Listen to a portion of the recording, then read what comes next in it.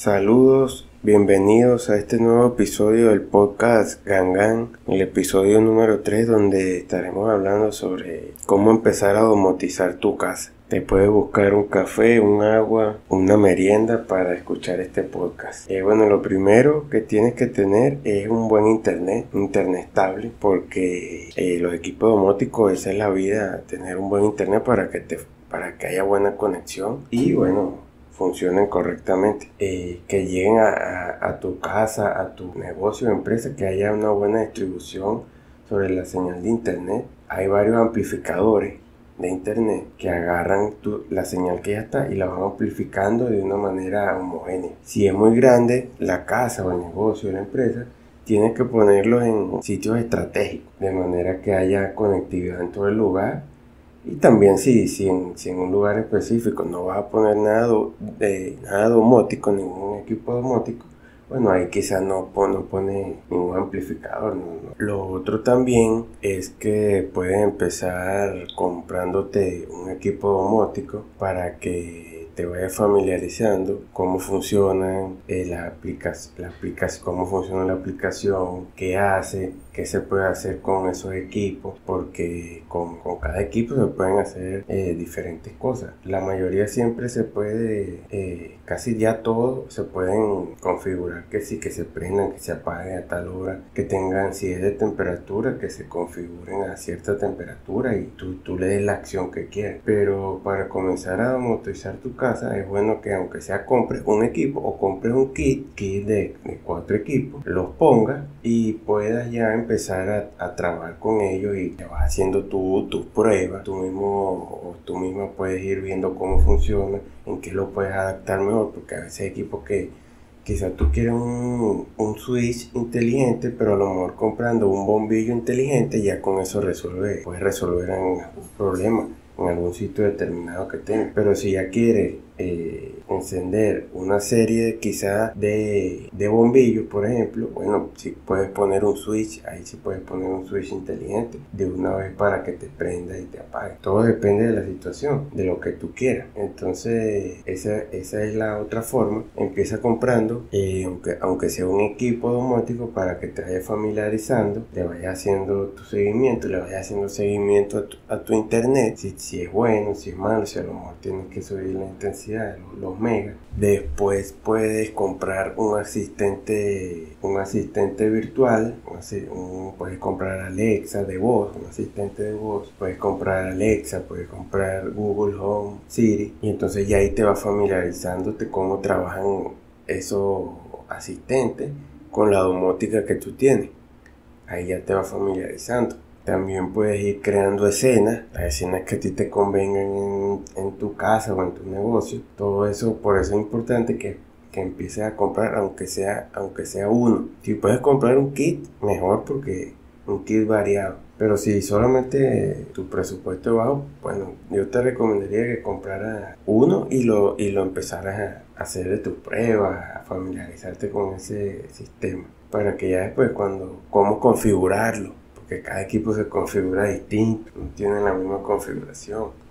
Las aplicaciones, las aplicaciones que existen. Eh, por lo general, si cada, algunas marcas tienen su, ya su aplicación, pero hay unas que no, que tienen aplicaciones distintas. Eh, las más famosas son la, son, la es una aplicación, pero EWELINF es solo para Sonoff. Hay otra que se llama Smart Life, que esa sí la tienen muchas, muchas, muchas marcas de domótica. Por lo general esa es la que más se usa, la Smart Life, se llama así, porque esa aplicación abarca muchas marcas, abarca muchas marcas. Entonces esa es la que más se usa. Pero cada marca, dependiendo del equipo que tú compres, él, él, tiene su marca y por lo general la marca tiene su propia aplicación. Pero a veces esas aplicaciones no funcionan bien, entonces por eso también son, son compatibles con el, Smart Life. Entonces por lo general ya, la, ya lo que, los que han usado domótica les gusta mucho Smart Life. También hay otro sistema que se llama Tasmota, pero ya hay que saber un poco más porque tú tienes como tu, ya ahí tienes como tu servidor, como en la computadora. Pero y también hay que saber, porque tienes que cambiarle firmware a los equipos, hacerle unos trabajos ahí, y si lo haces mal, daña, dañas el equipo, lo dañas. Pero te va a funcionar mejor porque haces tu propia red local. Ahorita nosotros estamos estudiando ese, ese sistema, cambiar el firmware a los equipos y incluirlo a Tamoto. Ahorita estamos en ese proceso para poder ofrecer un mejor servicio sobre, sobre esos equipos si alguien lo quiere. Aunque ahorita ya de las aplicaciones tenían muchos mucho problemas. Porque, claro, estaba muy nueva los equipos, la domótica eso. Entonces la, los servidores se caían. Entonces no servían. Cuando te metían en la aplicación estaba fuera de servicio.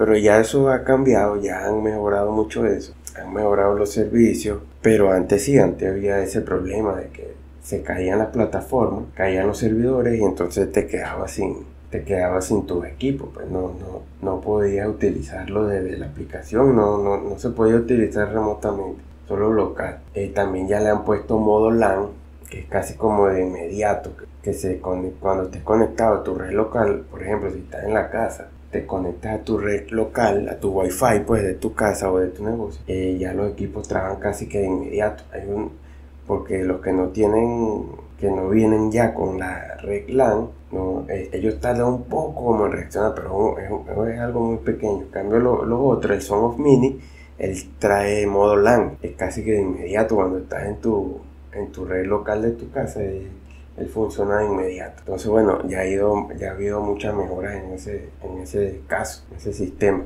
Entonces, sí, si quieres ya empezar, te llama la atención, quieres ahí empezar a, domotizar tu casa, tu negocio, bueno, ya estos son como lo, lo, más básico para que aprendas. Eh, revisar de tu, tu, internet, que tenga buena, buena conexión en el, lugar.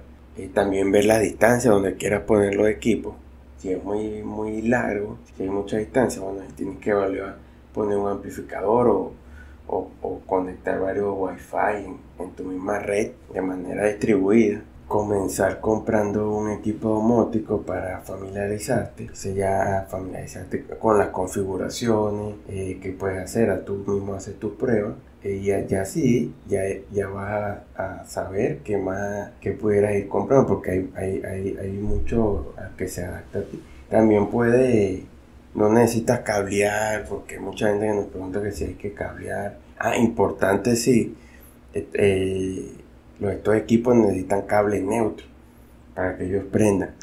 Por lo general, si en, en los tomacorrientes hay cable neutro, pero si vas a poner un switch inteligente en un apagador, ahí por lo general no hay cable neutro, entonces ya ahí tienes que colocar ahí, buscarlo y colocarlo ahí para que te funcione, para que te funcione, porque si no, no te va a funcionar. Entonces, estos son los pasos para empezar a domotizar tu casa tu negocio. Y bueno, nos vemos en, el próximo episodio. Espero que te haya gustado. Suscríbete, activa la campanita si quieres obtener estos, estos equipos, si quieres empezar a domotizar tu casa. Si estás en Venezuela, nosotros tenemos equipos disponibles, son muy económicos hacemos envío a todo el país y si no te encuentras en Venezuela, en tu país pues ya, ya existen estos, estos equipos domóticos que son muy económicos también, no son, no son muy costosos. Y bueno, si puedes ya empezar a, a domotizar tu, tu espacio que tú quieras. Y bueno, nos vemos pronto y suscríbanse y denle like y activen las notificaciones. Gracias.